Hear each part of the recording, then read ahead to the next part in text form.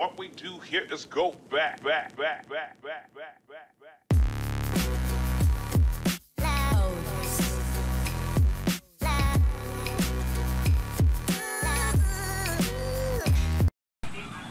আসসালামু আলাইকুম viewers. Amina's kitchen থেকে আমি আমিনা বলছি। আজকে আমি লোতে দিয়ে চিংড়ি মাছ রান্না করেছি। আর সেই রেসিপিটি আপনাদের সাথে শেয়ার করছি ভিউয়ার্স।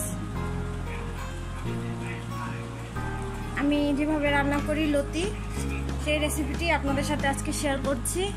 আশা করি আপনাদের ভালো লাগবে। আমার রেসিপিটি দেখতে পুরো ভিডিওটি দেখুন ভিউয়ার্স আমার পাশে থাকুন।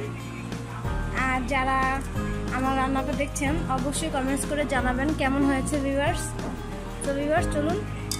দেখুন আমি কীভাবে লতি রান্না করি। ভিউয়ার্স আমি লতিটাকে খুব ভালোভাবে কেটে, বেছে, ধুয়ে নিয়েছি। আমি এখানে আধা কেজি পরিমাণ লতি নিয়েছি। এখন এই লতিটাকে আমি সামান্য পানি দিয়ে সামান্য পানি আর লবণ দিয়ে আমি এটাকে একটু ভাপে সেদ্ধ করে নেব। আমি পুরো সিদ্ধ করব না, আমি সামান্য ভাপে সেদ্ধ করব।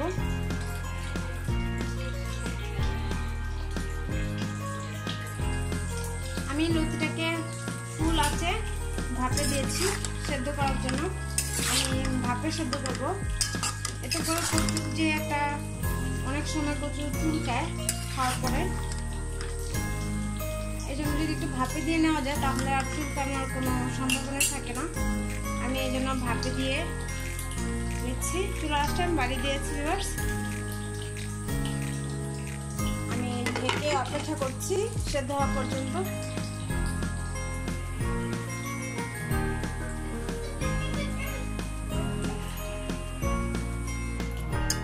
সেদ্ধ হয়ে গেছে, দেখুন ভিউয়ার্স একদম নরম হয়ে গেছে।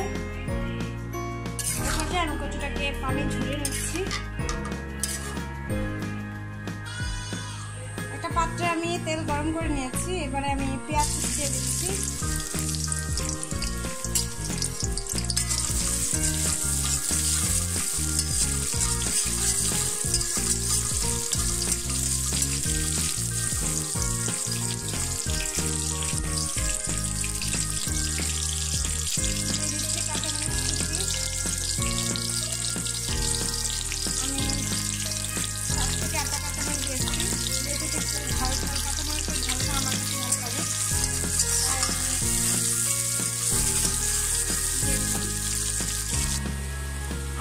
দিচ্ছি দুই চা চামচ রসুন বাটা। রসুন বাটা বেশি লাগে।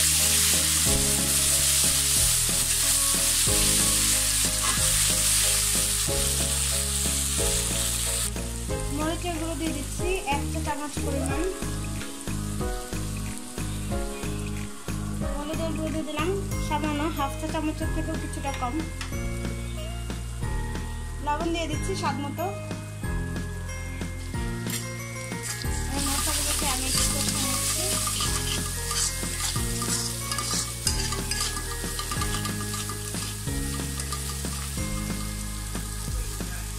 আমি চিংড়ি মাছ দিয়ে লতি রান্না করব, তাই আমি এখানে মাঝারি আঁচের, একদম ছোট না, আবার বড় না, মাঝারি আঁচের কয়েকটা চিংড়ি মাছ আমি নিয়ে নিয়েছি, ভালোভাবে বেছে নিয়েছি, বেছে ধুয়ে নিয়েছি।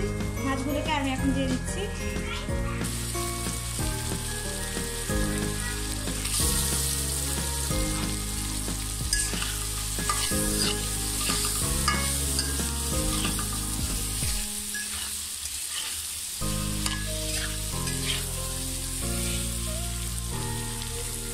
মাছটা সেদ্ধ হওয়ার জন্য আমি সামান্য পানি দিয়ে নিলাম।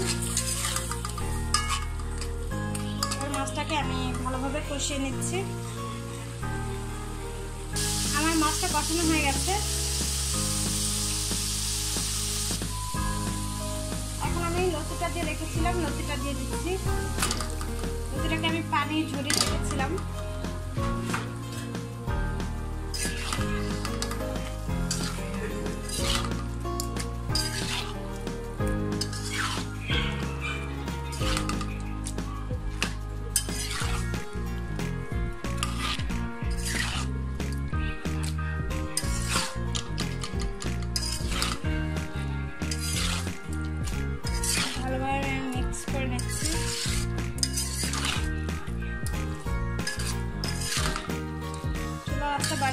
কিছুক্ষণ রান্না করে নেব।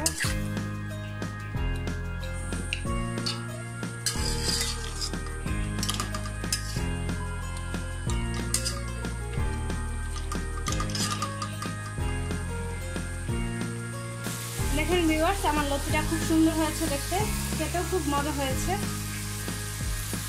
আমার রান্নাটা প্রায় হয়ে গেছে। আমি এখন লবণ দেখে নামিয়ে নিচ্ছি।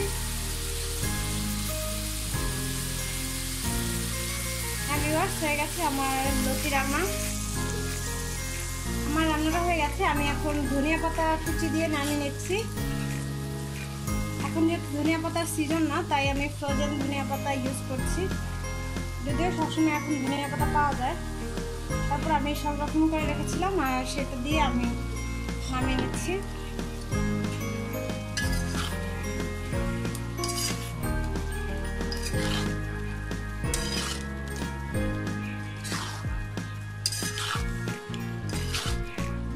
হয়ে গেল আমার লতি রান্না।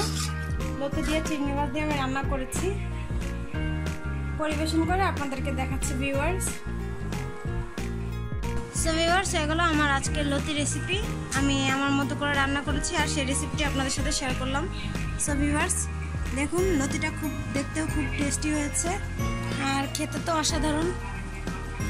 আশা করছি পুরো ভিডিওটি আপনাদের ভালো লেগেছে। আবারও হাজির হব নতুন কোনো ভিডিও নিয়ে। সেই পর্যন্ত ভালো থাকবেন ভিউয়ার্স তো আজকের মতো বিদায় নিচ্ছি। আমার রেসিপিটি যদি ভালো লেগে থাকে, তাহলে অবশ্যই বেশি বেশি শেয়ার করবেন। আর যারা এখন আমার চ্যানেলটি সাবস্ক্রাইব করেনি ভিউয়ার্স সাবস্ক্রাইব করে ফেলবেন। ভালো থাকবেন ভিউয়ার্স আসসালামু আলাইকুম।